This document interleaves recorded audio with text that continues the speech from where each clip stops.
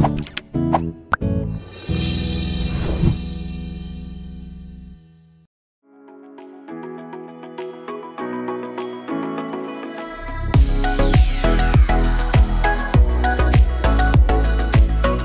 Hey Ingunn, it Hi. was a great pleasure partnering with you with this uh, wonderful survey we did. Thank you, Veronique.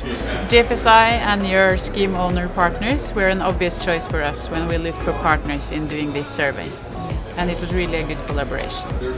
Yeah, we had not done any survey since 2014, and it's a very important one because we had uh, 1,643 respondents. so- Exactly.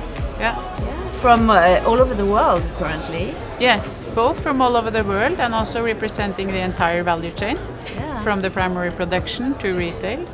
So this was really a good result, and we have kind of statistical significance in the numbers since we got so many respondents, which is really good. Yeah, yeah. What is the, the, the best income for you?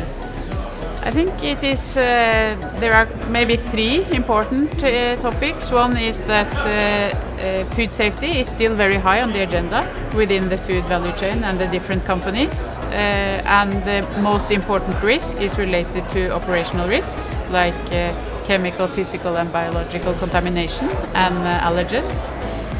Uh, then I think the fact that there is such a clear conclusion in terms of certification, both adding value and providing uh, specific benefits, was really important.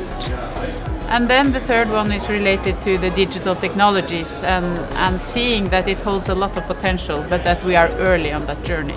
Yeah, I was also surprised by that. I, I was expecting a higher rate on the the participation of technology in uh, preventing the food safety risk, and actually, it's. Uh, uh, we can see it differently. It's very promising. That means that in the future, the technology has a, a role to play, which has not been identified yet. So it, it might be very interesting.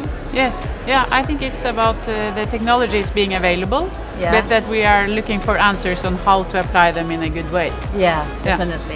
We have different people. We have people taking care of food safety, and Yeah. you have on the other part engineers taking care of all the technology. So maybe we have to reconcile those two worlds in order to find the best solution. Yes, and I think across all industries, uh, being digitally competent is going to be a core uh, core uh, factor for success. Yeah. Then uh, I think another very important part was related to food safety culture, which came second as the food safety risk after operational risks. And, uh, and to us that was a bit of a surprise too. So, Absolutely. uh, so that really shows the human element in uh, producing safe food. And then if we look to certification, we see that having uh, food safety management systems in place contributes also to more employee engagement and awareness, which is of course very important in terms of building a food safety culture. yes. So this was also very interesting. Yeah, we were also very happy to, with this result because we have included now the food safety culture uh, in, in the, the technical working groups and uh, in our library. And uh, the raising point and the raising concern about the inclusion of food safety culture in the risk manager, management is, is really a, an interesting topic raised by this survey. Definitely. Yes. Uh, another interesting topic is that the certification is not only seen as a constraint or uh, only a requirement from the the buyers, but it is also the way for companies to comply with regulation, Yes. which is really interesting. Yes, and that the, their ability to demonstrate their compliance with existing laws and regulations Yes. is uh, very interesting.